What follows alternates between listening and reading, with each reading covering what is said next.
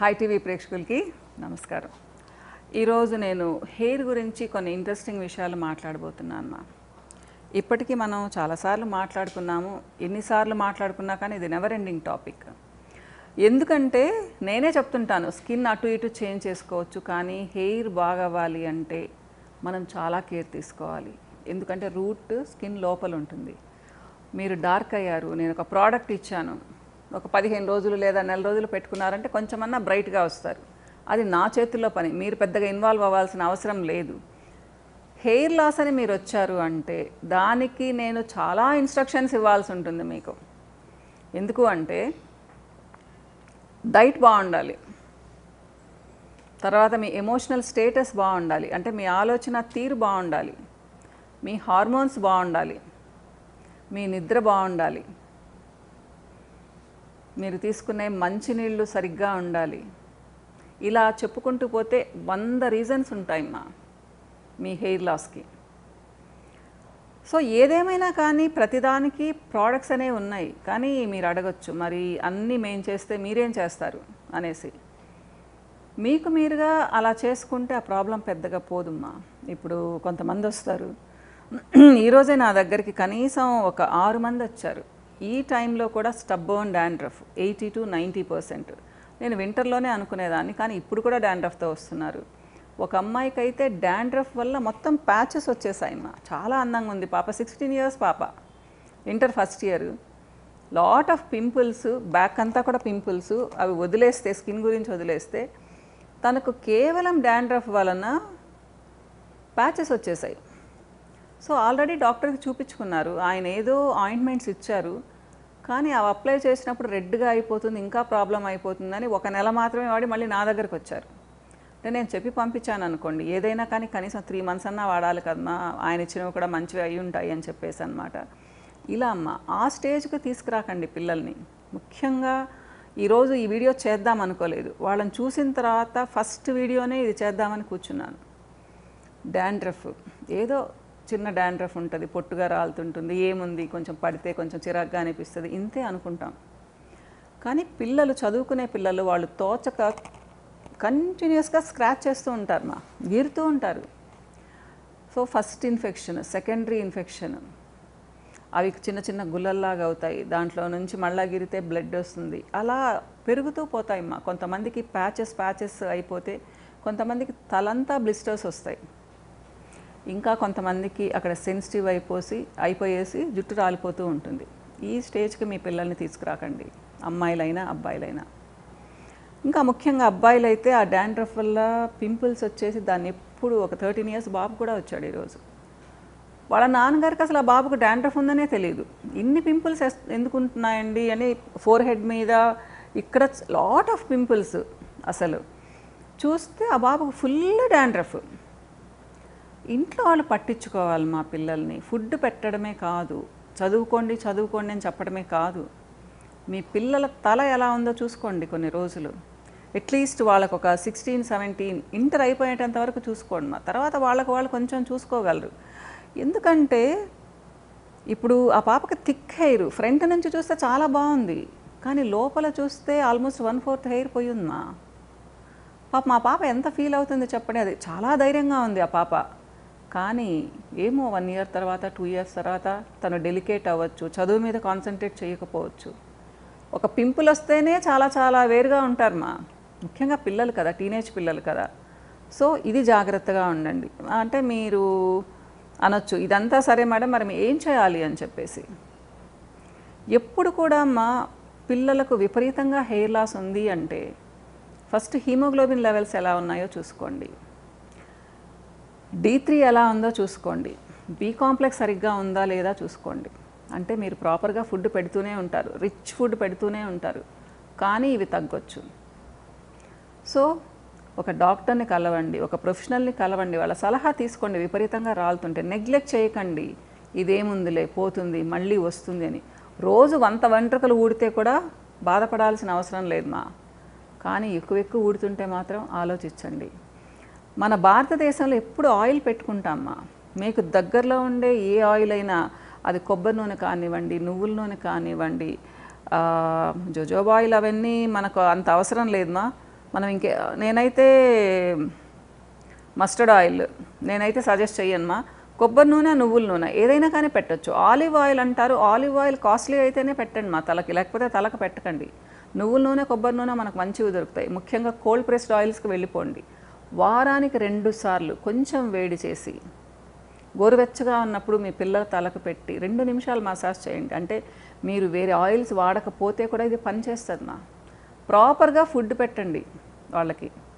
అన్నం కొంచెం తగ్గించి కూరలు బాగా తినమండి తినమనండి. పప్పు రోజు పెట్టండి నాన్ వెజ్ తినకపోతే. ఒకవేళ నా వాళ్ళు నాన్ వెజ్ తినే పని అయితే టూ త్రీ డేస్ పెట్టండి. ఎగ్స్ తినే పని అయితే రోజు వన్ ఆర్ టూ ఎగ్స్ ఇవ్వండి. లెగ్యూమ్స్ గుగ్గిళ్ళు పెట్టండి. అన్ని వెజిటబుల్స్ పెట్టండి మా. కలర్ఫుల్ వెజిటబుల్స్ ప్రతి కలరు మీరు యాడ్ చేయండి వాళ్ళ డైట్లో ఓకే అలానే వాళ్ళకి ఇష్టం ఉన్నవి మానే మానిపించొద్దు. రెండు రోజులు వాళ్ళకి ఇష్టం ఉన్నవి పెట్టండి. ఫైవ్ డేస్ మీరు చాయిస్ తీసుకోండి. అప్పుడు పిల్లలు మీ మాట వింటారు మా. అలానే ఫోర్ డేస్ ఆకుకూరలు ఉండేటట్టు చూడండి.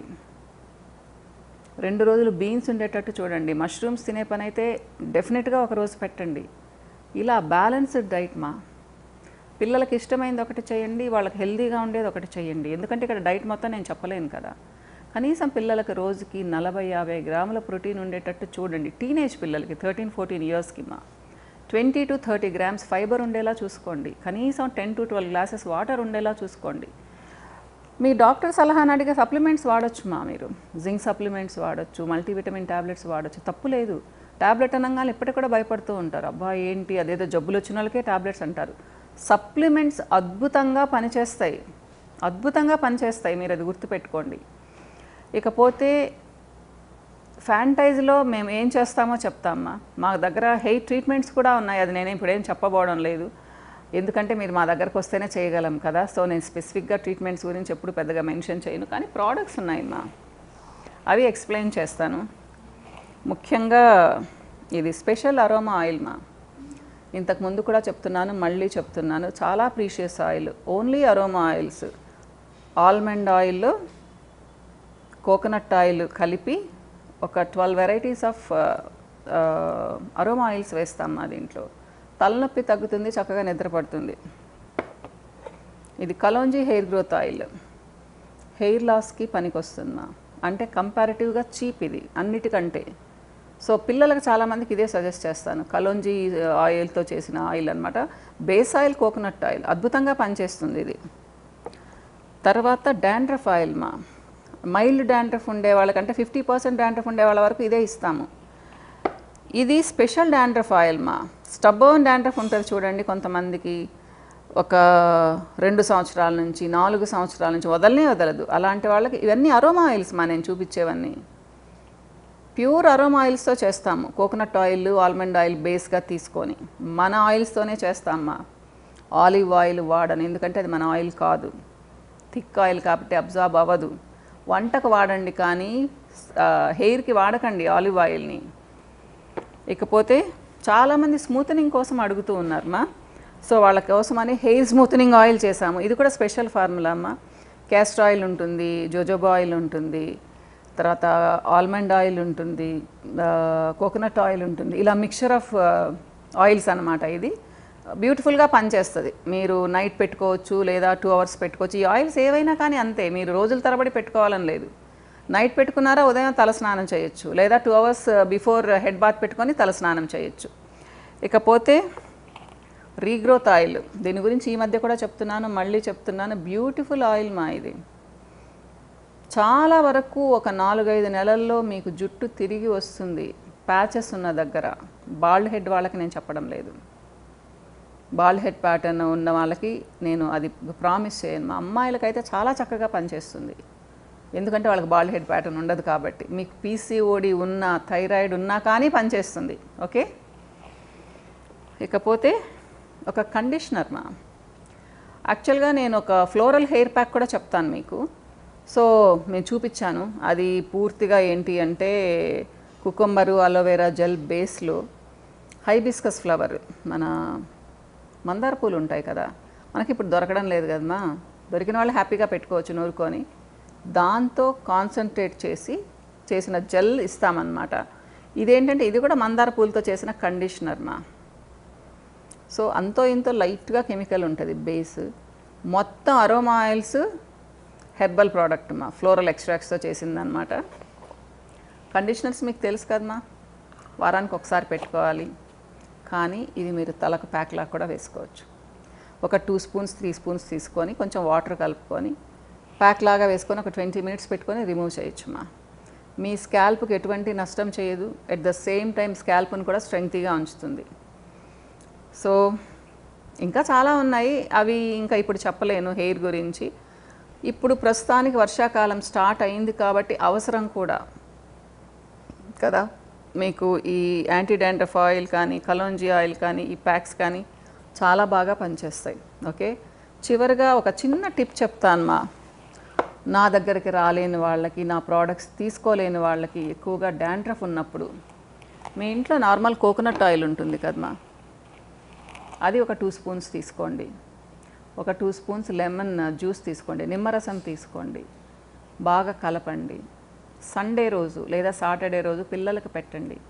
ట్వంటీ టు థర్టీ మినిట్స్ పెట్టండి. స్నానం చేపించేసేయండి మా. స్నానం చేయమనండి. మీకు డౌట్లు వస్తాయి తెల్ల జుట్టు వస్తుందా జుట్టు డ్రై అయిపోతుందా ఏమీ అవ్వదు. మైల్డ్ డాండ్రఫ్ ఉండే వాళ్ళకి ఇది అద్భుతంగా పనిచేస్తుంది. ట్రై చేసి చూడండి. ఎక్కువ డాండ్రఫ్ ఉంటే మాత్రం ఈ టిప్పు పని చేయదు మా. సో మీరు మొదట్లోనే తెలుసుకొని వాళ్ళకి కానీ కొంచెం వాళ్ళ గురించి కేర్ తీసుకున్నారు అంటే ఎక్కువ డాండ్రఫ్ రాదు దానివలన ఎక్కువగా జుట్టు ఊడదు ప్యాచెస్ రావన్నమాట.